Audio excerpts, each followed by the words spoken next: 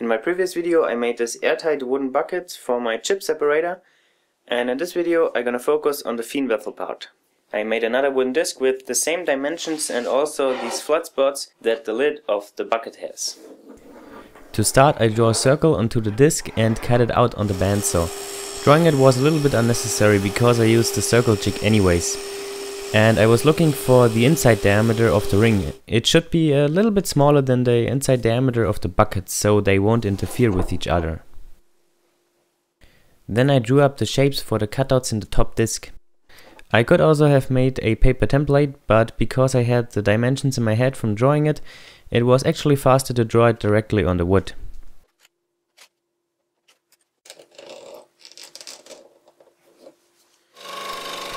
Then cutting out these shapes on the scroll saw.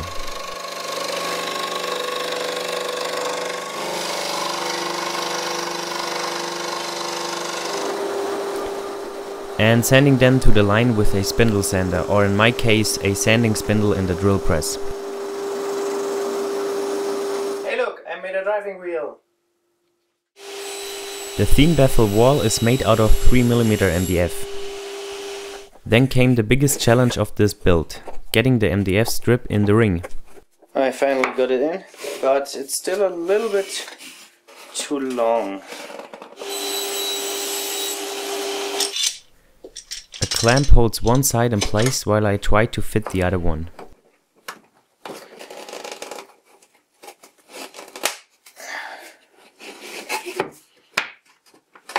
So now I got this done.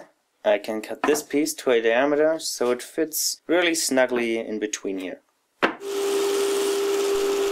I removed some material with the bandsaw and made the final diameter with the disc sander.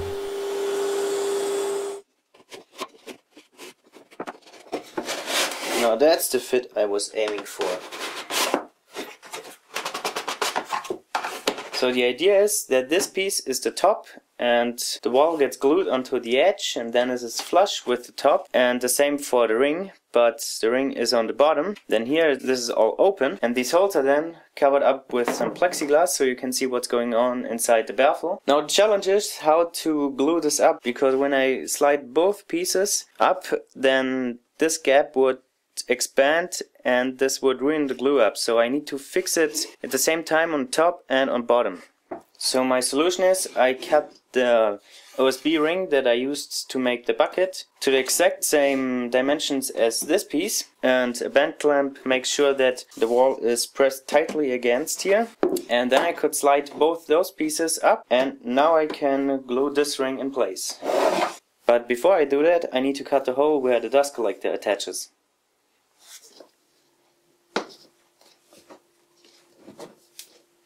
And a 4 inch hose can fit into here. And spreading the glue a little bit. I tried to spread some glue on the inside wall by putting it in partially in different positions.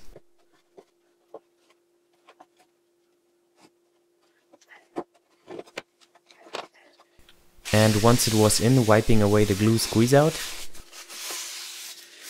and I have to line it up pretty fast because with this tight joint the glue is gonna set really quickly and I let the glue dry upside down so I don't get glue drips on the inside. Once the glue was dry and I had removed the outer ring the MDF started to split apart again because well it's just MDF and this is under a lot of tension so to secure it in place I'm now gonna put in some screws.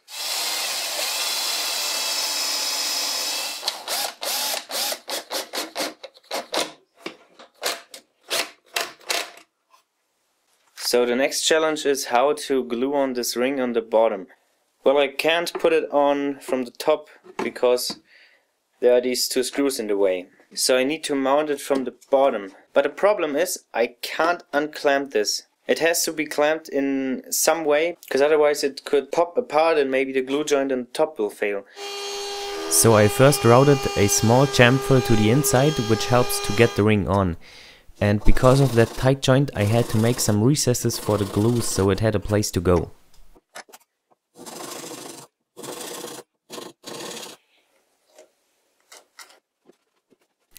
and then putting it on in a more or less elegant way.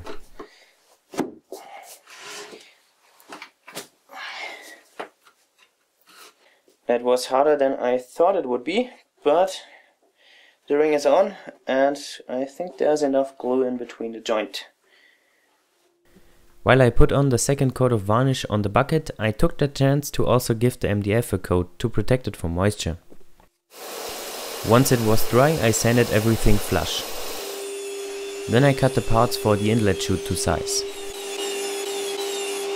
And here's an adapter for my hose. And it's slightly conical in this section here, so I made this hole also conical and now it fits quite snugly here. And this then fits into the inlet. And this whole thing then gets attached here. Now I just need to glue it together and then cut the round section off. No special joinery here just butt joints with screws. But I removed the screws again and drilled the screw holes bigger to insert some dowels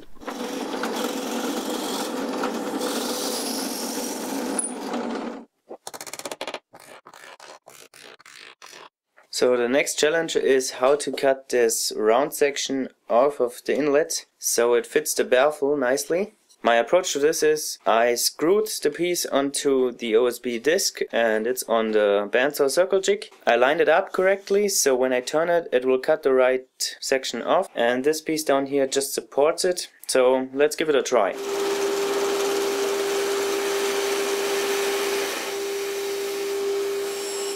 It actually worked really good.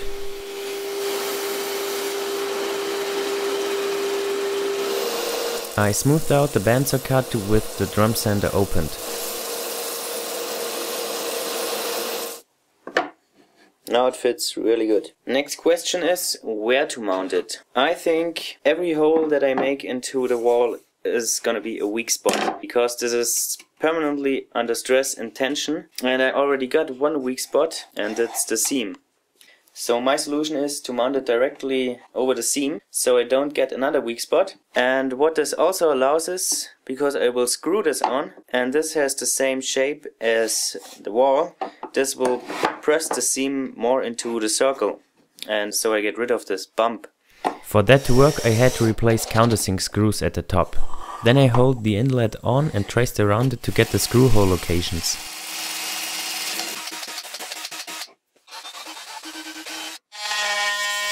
And the best tool to make the inlet hole is a vibrating saw.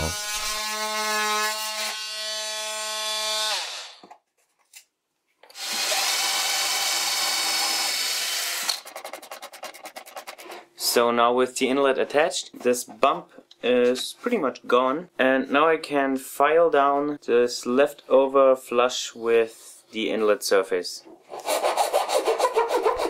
This actually took quite a bit, but I wanted to be very careful with that to make the inlet as smooth as possible. Now I have a nice seamless inlet. No bumps whatsoever. Next I cut the plexiglass to size and mark the cutouts so I know where I can drill some screw holes.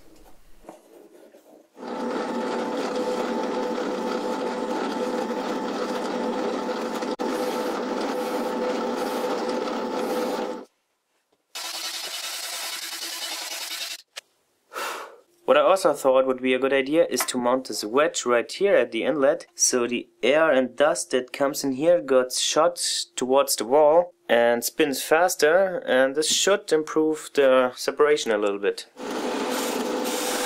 Then I made the baffle. I decided to make it as a whole separate disc because there was no good way to mount it on the inside of the cyclone wall. And of course the diameter of the slot is big enough so it won't interfere with the cyclone wall. I'm gonna attach the baffle with this part right at the inlet. Once attached I flush trimmed it. And finally I attached the plexiglass.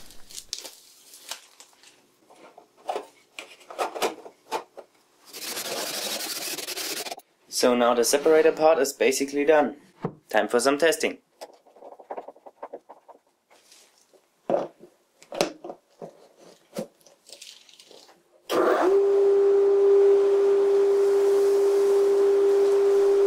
Thing is not sealed yet, but as you can see it works pretty well.